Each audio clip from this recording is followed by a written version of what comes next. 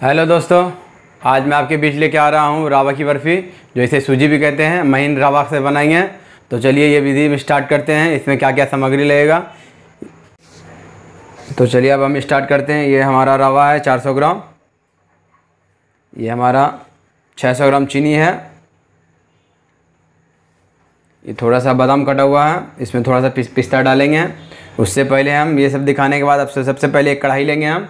तो चलिए हम बनाना शुरू करते हैं, एक कढ़ाई लिए हैं, इसको नॉर्मल गैस ज़्यादा ताव में नहीं लो फ्लेम में, इसको हम इस तरह से फ्लेम रहेगा हमारा, ज़्यादा नहीं, इसको रावा धीमा ताव में भूनेंगे देखिए इस तरह से फ्लेम रखना है, इस पर आप किसी चीज़ से मोबाइल से भी बना सकते हैं, जो बादाम का तेल होता है, या फिर शुद्ध घी से हम शुद्ध घी और बादाम तेल दोनों मिला के बनाएँगे तो सबसे पहले कढ़ाई गर्म होने देते हैं, ये बर्फ़ी का खासियत ये है कि आपका रावा की है लेकिन फिलिंग आएगी मावा की बर्फ़ी की जैसी। वो भी बताएँगे मावा की बर्फ़ी कैसे बनेगी फिलिंग कैसे आएगी, वो भी बताएँगे हम। तो चलिए हमारा कढ़ाई गर्म हो चुका है। इसमें सबसे पहले हम 100 ग्राम घी ऐड करेंगे। हमारा घर का घी है। गर्म हो चुका है, हम ये 100 ग्राम घी। तो चलिए हमारा कढ़ाई गर्म हो चुका है तो हम ये 100 ग्राम घी इसमें ऐड करेंगे। सबसे पहले घी डाल देते हैं हम। चार सौ ग्राम हमारा रवा है, इसीलिए हम इसमें अढ़ाई सौ ग्राम घी और बादाम का तेल मिला कर बनाएँगे, इसीलिए हम जिसको रिफाइन भी कहते हैं। अब सौ ग्राम, सौ से डेढ़ सौ ग्राम हम तेल डालेंगे बादाम का। देखिए, इस चम्मच से हम एक, दो और ये तीन। ये हमारा अभी अढ़ाई सौ ग्राम तेल हो चुका है। इससे ज़्यादा हम नहीं डालेंगे। आप चाहें तो सिंगल चीज़ में बना सकते हैं या खाली घी में भी बना सकते हैं या वाइल में बना सकते हैं। हम दोनों चीज़ मिला के बनाए हैं अच्छा लगेगा। आप जिस चीज़ ज़्यादा लाइक करते हैं, उस चीज़ में बना सकते हैं। हमारा दो मिनट तेल डाला हुआ हो गया, अब इसमें हम सब बराबर डालेंगे इस तरह से। देखिए, इसको डालने के बाद अच्छी तरीके से हम भूंजेंगे। जैसे जैसे हम इसको भुंजाइया होगा, मेरा इसका कलर चेंज होगा। अब इसमें ज़्यादा और नॉर्मली बनाना है तो हल्का घी में देखिए भून के बना सकते हैं, लेकिन बर्फ़ी बनाएँगे। और मावा वाली फीलिंग आना है, इसीलिए थोड़ा सा तेल हिसाब से देना है। लमसम इसको हम ब्राउन होने तक भूंजेंगे ज़्यादा लाल नहीं करेंगे। पाँच से सात मिनट तक इसको धीमा ताव में हम चला चला करके इसी तरह चला छोड़ नहीं देना। अगर छोड़ देंगे तो कहीं ज़्यादा लाल हो जाएगा और कहीं कम इसीलिए छोड़ना नहीं है बे, बेरंगा लगेगा। जिसको हम चलाते रहेंगे। इस तरह से हम हमेशा घुमा घुमा करके थोड़ा सा इस तरह से करेंगे जो हमारा दानादार जो है नॉर्मल हो जाएगा। इस तरह से सात मिनट तक कंटिन्यू इसको चलाते रखना। है कोई ज़रूरी नहीं, सात या आठ भी हो सकता है, लेकिन नॉर्मली सात से आठ मिनट तक इसको हम भूंजेंगे। रावा थोड़ा बारीक रहता है, थोड़ा दानादार भी रहता है और थोड़ा सीखने में। जैसे बेसन, आटा तो जल्दी भुंजा जाता है, उसी हिसाब से थोड़ा इसमें समय लगेगा। इसको हम अच्छी तरीके से भूनेंगे देखिएगा, जब सेकैया हो जाएगा तो ये फरफरा हो जाएगा। हम दिखा देंगे कितना देर तक। ऐसे समय आपको बता दिए हैं। अगर नहीं नॉर्मली है तो समय इसके अनुसार भी आप काम कर सकते हैं।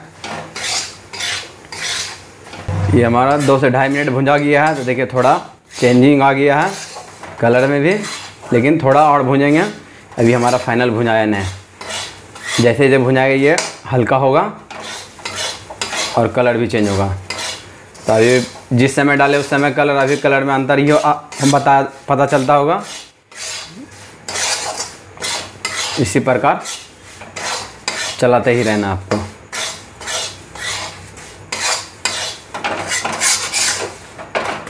और आपको ये समझ में नहीं आया होगा कि ये दोनों चीज़ मिक्स करके बना रहे हैं, क्यों? तो देखिए, घी और तेल डालने के कारण यही बहुत आदमी घी को लाइक नहीं करता है नॉर्मली घी पसंद करता है, इसीलिए उसके लिए है कि आप बिना घी का भी बना सकते हैं या थोड़ा घी का खुशबू चाहते हैं तो हल्का घी डाल दीजिए। लेकिन घी डाल के पहले डालना है उसके बाद डालना है इसलिए कि दोनों का सेम मैचिंग हो जाता है। घी जलने के बाद थोड़ा सा गर्म होने के बाद तेल डालेंगे तो दोनों का सेम स्वाद आ जाता है कि हाँ घी में ही हमारा ये अगले को पता भी नहीं चलता है कि हम घी में बना रहे हैं कि तेल में बना रहे हैं। फीलिंग घी वाली आई, आती है। इसीलिए दोनों मिक्स करके हम बनाए ये हमारा लमसम भूनते भूनते पाँच मिनट हमारा समय बीत चुका है। अब इसमें आपको फीलिंग जो बताएँ, मावे वाली आएगी कैसे? तो फीलिंग मावे वाली आने के लिए इसको हम थोड़ा सा नॉर्मल करेंगे। तो नॉर्मल करने के लिए हमारा एक कटोरी दूध है।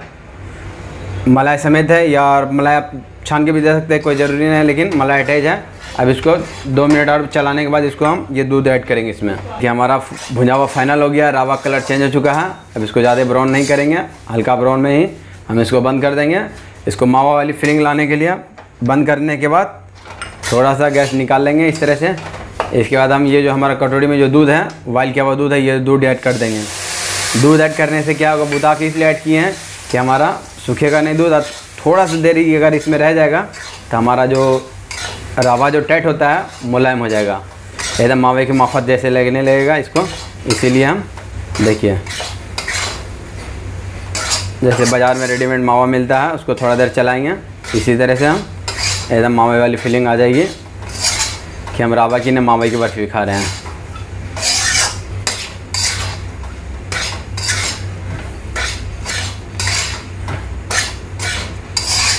तो चलिए, मेरा ये पहला स्टेप तैयार हो गया। अब दूसरा स्टेप इसमें चाशनी देना है। चाशनी बना लेते हैं पहले हम। अब चाशनी डालने का एक काम करेंगे। पैन में हमें एक गिलास पानी डाल दिए हैं। पानी ज़्यादा नहीं डालना है अगर पान, ज़्यादा लिए तो चा सीरा को बनाने में समय लग जाएगा। इसलिए पानी एक गिलास डाले हैं। लगभग 200 ग्राम पानी होगा हमारा। इसलिए हमारा जो चीनी जो हम रखे थे 600 ग्राम वो 600 ग्राम चीनी ऐड कर लेंगे। हमें चीनी डालने के बाद इसको अच्छी तरीके से चला रहे हैं। ये हमारा छः सौ ग्राम चीनी था। अब चीनी जब तक चलाना है इसको जब तक चीनी गल ना जाए। अगर चीनी जला छोड़ दीजिएगा तो ये आपका थोड़ा सा ही अब इसको गंदगी उठाने के लिए हम थोड़ा सा इसमें दूध इस्तेमाल करेंगे। देखिए, इस तरह से इतना दूध लिया इसमें नॉर्मल दूध नहीं डालेंगे, थोड़ा सा इसमें पानी ऐड करेंगे। ज़्यादा नॉर्मल दूध ऐसे डाल देंगे तो हमारा चाशनी में चीनी दूध फट जाएगा तो चाशनी बहुत गंदा हो जाएगा, साफ़ करने के लिए बहुत गंदा हो जाएगा। तो इसीलिए हम दूध पानी मिला डाले हैं। इस बात को आपको ध्यान देना है। अब इसको धीमा ताम है, जमने के लिए हम छोड़ दिए हैं, गंदगी इसका जमेगा। थोड़ा सा हम इसको मिला भी सकते हैं, और देख लेंगे, मेरा, हमारा जो चीनी है गला नहीं, देखिए, थोड़ा सा चीनी अभी और बचा हुआ है, गला नहीं है चीनी।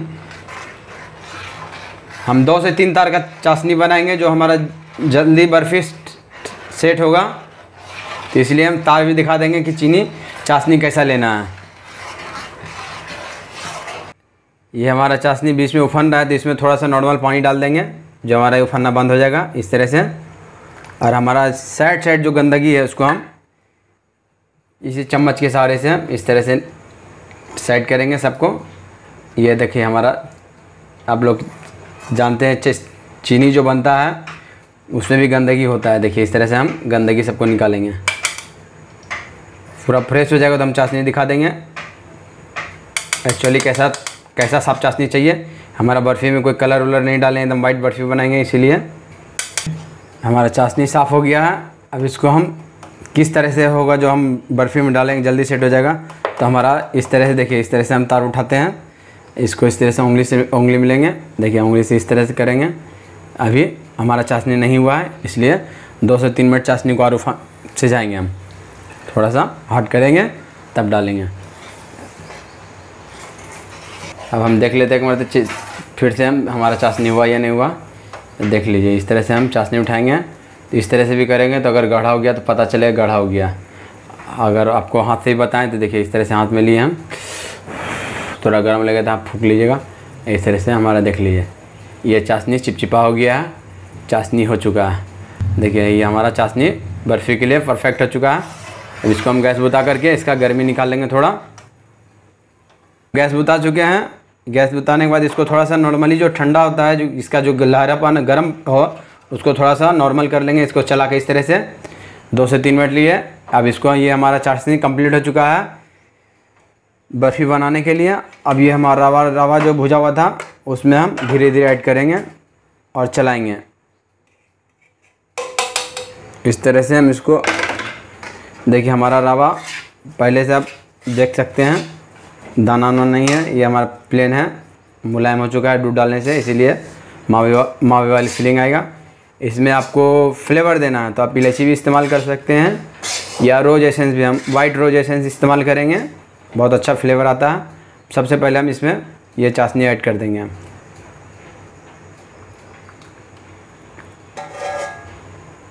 चाशनी ऐड करने के बाद इसको हम चलाएँगे अच्छी तरीके से।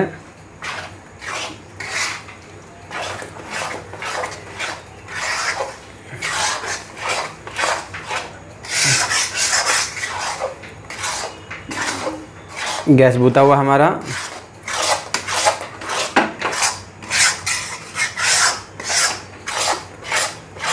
ये हमारा चलाते चलाते जैसे रावा फूलेगा वैसे ये हमारा थोड़ा सा टाइट होते जाएगा। इसमें जो गर्मी है, गर्माहट जो इसका रावा और चाशनी का पूरे अच्छी तरीके से निकाल लेंगे हम।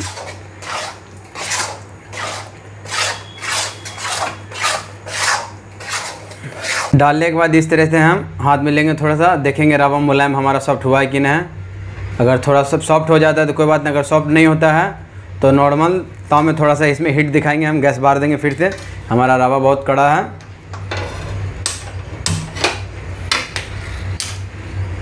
नॉर्मल ताव में इसको धीमा, इसी तरह से ऐसे ऐसे चलाते रहना आपको।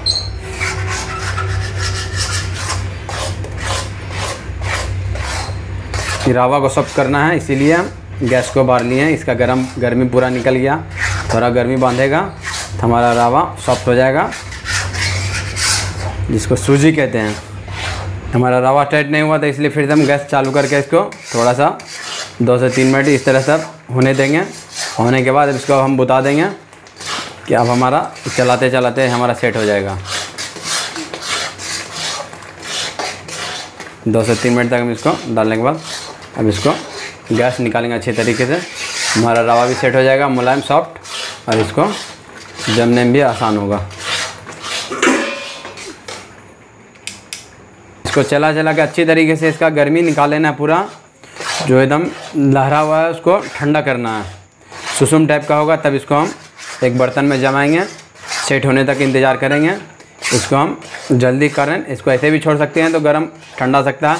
लेकिन इसको थोड़ा थोड़ा ऐसे करेंगे तो थोड़ा सा लचीलापन होगा, जो होता है सॉफ्ट वो भी, और इसको हम जल्दी सेट होगा हमारा बर्फ़ी होगा, इसीलिए इसको चलाना है। जैसे पेड़ा घाटते हैं, उसी टाइप का हो जाता है ये। इसको करने के बाद हम इसमें थोड़ा सा इस्तेमाल करेंगे। फ्लेवर के लिए rose essence white rose essence है। दो से तीन बूंद डालेंगे।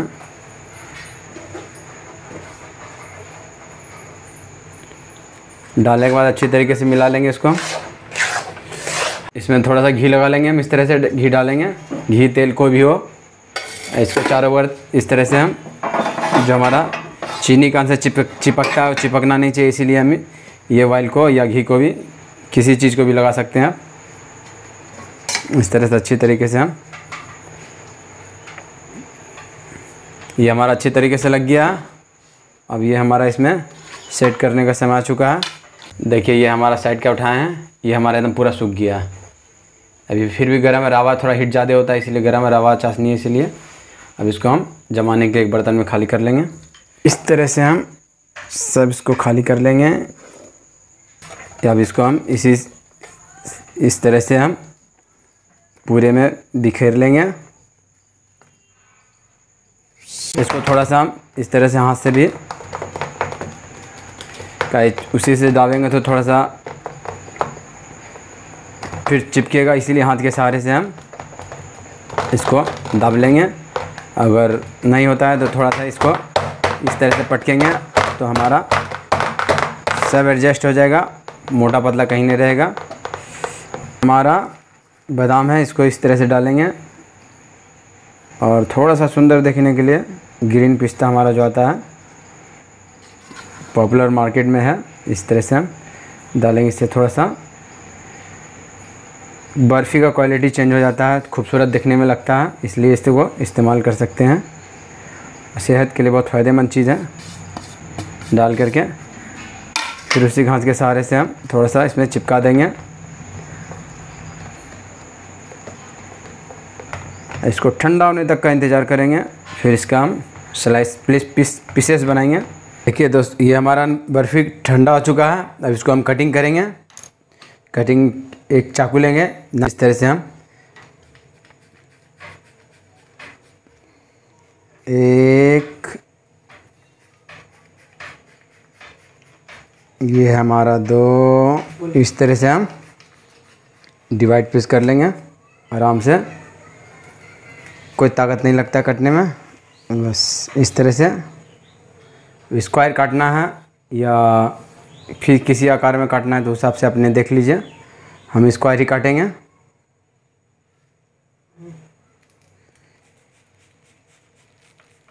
ये हमारा